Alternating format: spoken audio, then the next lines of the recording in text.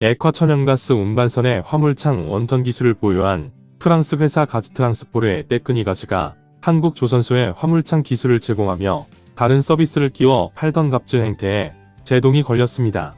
그동안 국내 조선사들은 GTT로부터 기술 지원 서비스 등을 받고 울며 겨자 먹기로 비용을 지불했지만 앞으로는 불필요한 지출이 줄어들 것으로 보입니다.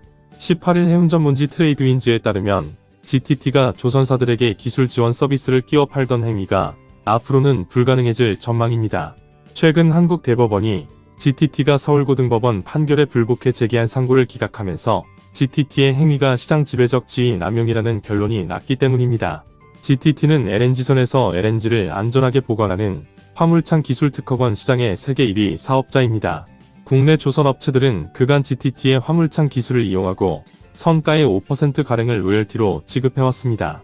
문제는 그동안 GTT가